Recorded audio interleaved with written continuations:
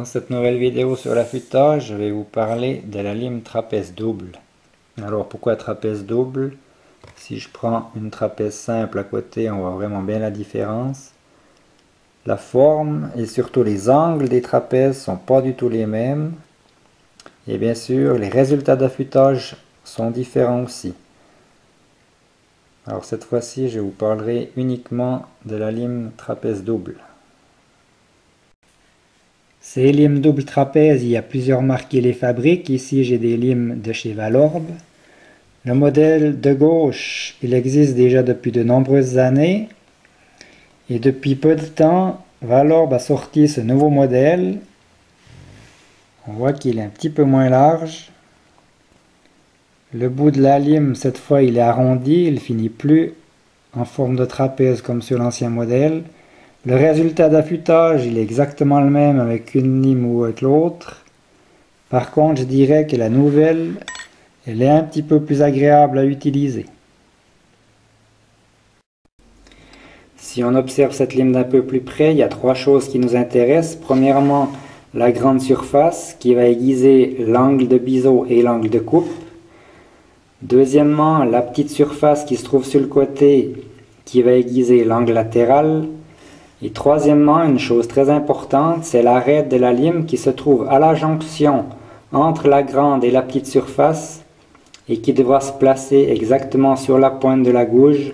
On verra tout à l'heure pourquoi lors de l'affûtage. Pour bien se rendre compte du travail que fait chaque surface, on va leur donner une couleur et à l'aide de l'écran du dessus, vous allez comprendre leur utilité et où elles doivent être placées exactement dans la gouge. Cette fois-ci, on va pouvoir commencer l'affûtage. Je vais vous montrer deux façons de procéder. La première à l'atelier avec la chaîne fixée directement dans un étau. Et ensuite, on ira sur le terrain en forêt et on affûtera avec la chaîne montée directement sur le guide. Pour effectuer correctement un affûtage à la lime plate, il y a quatre choses à régler simultanément. Les deux premières sont liées ensemble.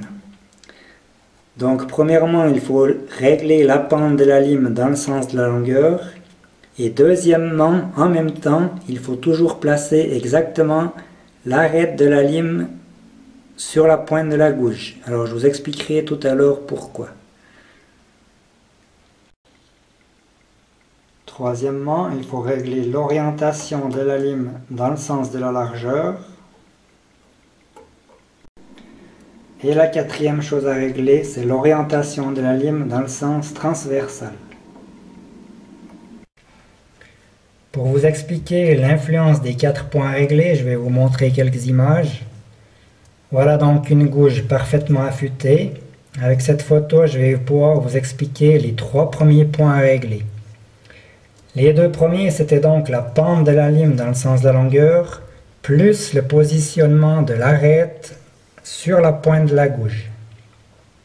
Le but donc d'avoir la bonne pente avec la lime, c'est de permettre à l'arête de relier la pointe de la gouge avec l'angle qui se trouve sous la gouge. Je prends une autre image pour vous montrer. J'ai représenté l'arête de la lime avec vert. On voit vraiment bien le chemin qu'elle doit suivre. Elle doit à tout prix passer par la pointe et arriver dans l'angle sous la gouge. C'est comme ça que vous obtiendrez les meilleurs résultats de coupe et en même temps un affûtage solide.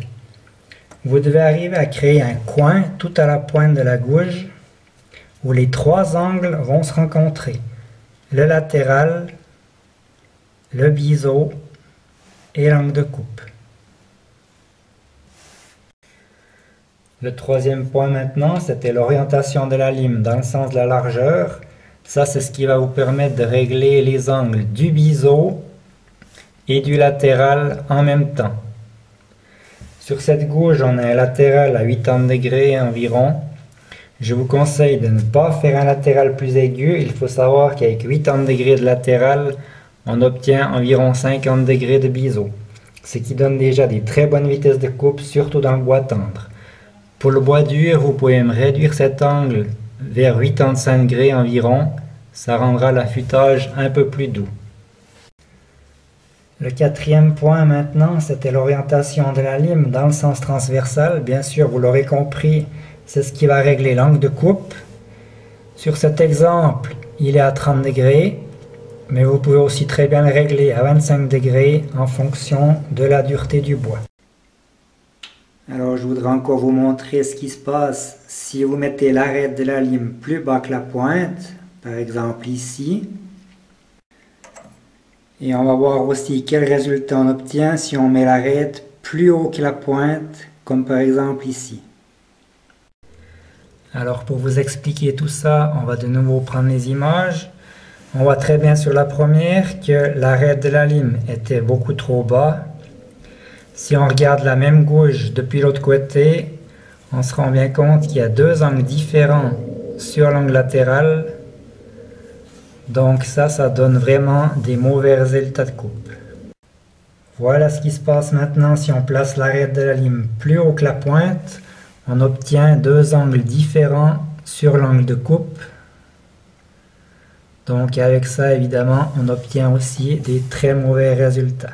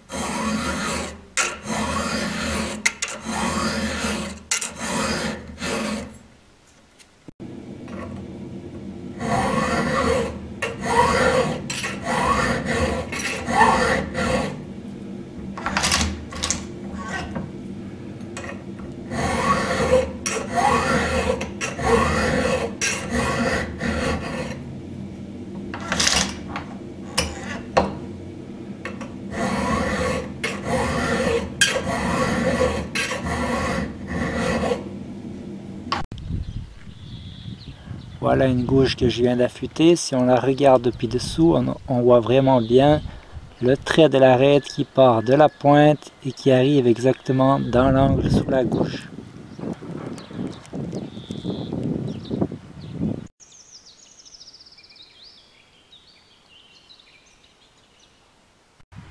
Pour aiguiser en forêt, il existe plusieurs moyens de fixer la tronçonneuse. On peut très bien se servir de ce genre d'étau l'on plante soit dans un billon ou alors dans un tronc. Dans ma région, on se sert plutôt de cette méthode. Un étau fabriqué directement dans un tronc. Et le chaîne est coincé avec une clé.